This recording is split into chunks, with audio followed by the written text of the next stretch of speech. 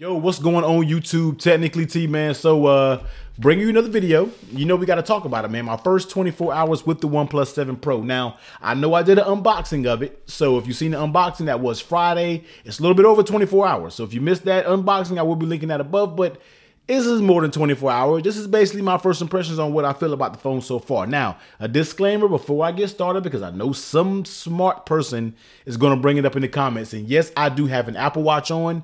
This is my daily watch. I don't have any other watches. So this is what I got on my wrist, no matter what I'm reviewing. So just make that a note. But OnePlus 7 Pro quick backstory, man. This is your fully loaded variant. This is the highest level. This is your big boy. This is the 12 gig 256 Nebula Blue model. Yes, I was able to find one. I know tons of people been asking me where you get it from. Did you get it off Swappa or did you?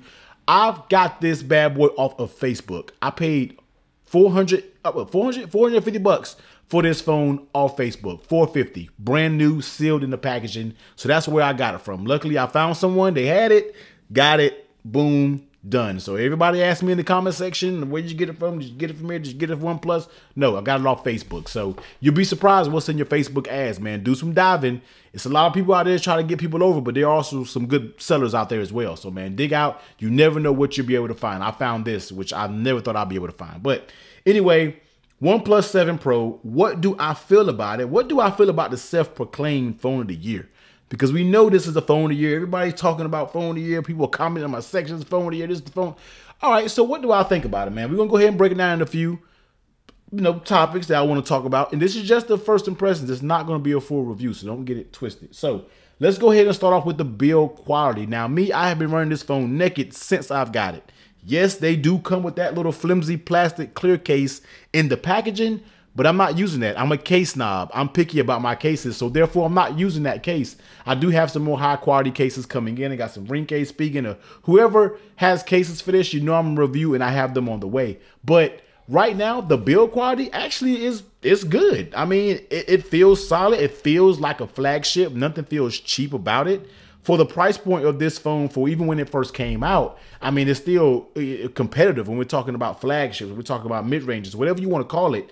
But this feels like a flagship. It doesn't feel any more cheap than like an iphone 10s max or or my note 10 plus or any other phone i got in here man. It doesn't feel like it's cheaper than that. So the build quality i have to say is pretty good. Yes it does have fingerprints on the back. No i'm not going to say fingerprint magnet because what phone isn't a fingerprint magnet these days? They all gonna show fingerprints. Just get over it. Wipe it off. Keep your cloth on deck, wipe it off, and you're good. So yes, it does show a little bit of fingerprints on the back, but so far with me handling it, haven't had an issue with it. The self the the the, the factory screen protector is still on. It will bubble up in the corner sometime, but I'll usually smooth it out and then it's gone. Um of course, I have to find some tempered glass screen protectors for it. If I don't, I know the curved screen makes that a little challenging. So we might be just running it naked. But so far, man, like I said, this was brand new. I don't have any scratches, any dings, and I haven't been like super baby in this device at all. So build quality is pretty good on the OnePlus 7 Pro. I don't really know what they can improve on it, man. Everything is all good when it comes to the build. Now, we got to go ahead and move to the display. So let me go ahead and turn this bad boy on. I have the full brightness on. Now, this display, I said it on Twitter, and I said, let me know. Y'all let me know if I'm tripping or not, man. But I feel like this display is a little bit better. I'm, I'm just gonna be a buck. I feel like it's a little bit better than the Note 10 Plus display. I know, I know everybody's gonna have their opinions. Everybody's gonna say this display gets way brighter than this display. I mean, let's see, both of them full brightness, and that's what you're getting right here. They both look about the same to me. Of course, we have both of these on Quad HD. That's the way I'm gonna always run my run my phones. But to me, man, these are the best displays in the game. But I don't know, man. For some odd reason, I just really like the Note 10 Plus display. But this OnePlus 7 Pro, I don't know if it's because it's just true bezel to bezel and we have a tiny bezel on this one. And I'm not a bezel snob. Don't get me twisted. I'm not a bezel snob. But it's something about this OnePlus 7 Pro display that I really, really like. And I always say that Samsung makes the best displays. If I'm not mistaken, Samsung made the display on the 7 Pro. I could be wrong, but um, the display is absolutely beautiful, man. I really love consuming media on it. And that's part reason why I always have to have an Android phone on me. I know I'm an iPhone person, but I always have to have an Android because I love watching media. I love watching YouTube. I just love even being on social media, man. Just that Quad HD is so crisp in the text I just love it. So the display is absolutely amazing. I really haven't tested out on full brightness outside. It's been kind of gloomy for the past few days and over the weekend.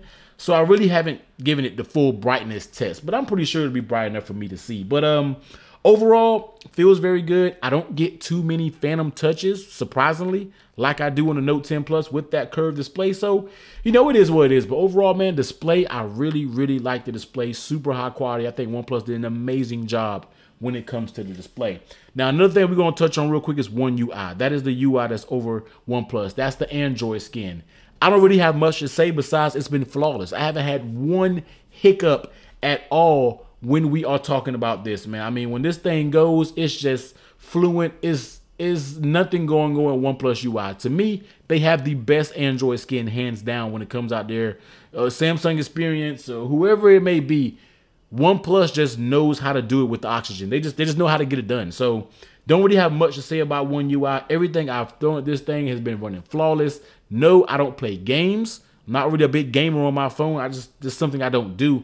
If you guys want to see me test it, let me know. But I don't really do gaming on the phone. But everything from day-to-day tasks, I've been running this phone. It has not had one hang up. So that's been absolutely amazing. Now, another thing that I'm very impressed with, the, the next two things are things that really was going to make this be the phone of the year for me, and that's battery life. Now, I just put the phone on the charger because it has 7%, but I didn't charge it until like since like yesterday morning when I left out. So that's telling you, man, the battery on this has been crazy solid. And like I said, I did just top it off real quick just to have enough battery to do this to do this uh, review. So it has six hours of screen on time. But as you see, I charged it up just that little bit right there just to give me enough to get through this video. But overall, I'm pulling, and this is just my second charge. Really, just my, I haven't really done a full first, second charge yet. I've been getting straight five hour screen on time right now, and it's only going to get better. This is only like my one and a half second charge, so you already know it's going to be better over time when we are talking about the battery life. The battery has been absolutely perfect. I mean, it doesn't have that iPhone standby. You still will drain a little bit. I know I went to bed last night, it was on 63%. I woke up, it was on 51 but I know the phone put itself in like a sleep mode, so that's pretty good. But overall, it's not going to give you that standby that we're getting on the iPhones. It's just not going to do it. No Android phone I feel like is going to do that. But for what this is, I'm perfectly fine. It gets me through the day. I'm not a screen on time snob because as long as the phone gets me through my workday and back home, hey, that's all I can ask you. And if it does that for me, and it's been doing that for me, then I'm absolutely amazed with the battery life. Um, Maybe after a week, I'll do another update on the battery, just a video on the battery alone. But so far, the battery has been very, very solid. Very impressed with the battery on the 7 Pro. The last thing that I want to touch on really fast is the camera. The camera on the OnePlus 7 Pro, to me, is mediocre. Now, it's not the worst out there. Do not get me wrong. It is not the worst camera out there. But from the phones that I have, and we're talking about Note 10 Plus, we're talking about iPhone 11 Pro Max, and I can probably grab a. Uh, let me see. Let's just see what, what else we got over here, man. I still even have the Note 8. I don't know how it compares against that, but I mean the Note 9. What? I'm, I'm all twisted up, man. You get what I'm saying. we can pull out not that one, but we can pull out the S10e. I mean, I feel like out of all of those, out of all those phones, I really feel like I can take one and snap a better picture than this. Just hands down. I feel like I can just take that out, snap a better picture, and it be going. Now, you do see I have two camera apps when we are talking about this phone. I have two camera apps. I have the stock camera app, and yes, I added Gcam. Although I am not a fan of Gcam, I wanted to see was the hardware really limited. It was it was a software doing the thing that not let this camera just perform the way it should. I know it's not hardware, it's the software. And I think that's what I've came because a few pictures I have taken with the uh, Gcam has actually been pretty good. Now I'm not really gonna put them on screen because I'm not sure what's in my camera app, so we're gonna leave that alone. Maybe I'll do a separate video when we're talking about cameras and compare the two. Um, but I have both camera apps up here because I do want to do a comparison. But the camera for me has been just okay. I take pictures of my son every day when he leaves out to go to daycare, man. To take a picture of his outfits and send to my parents.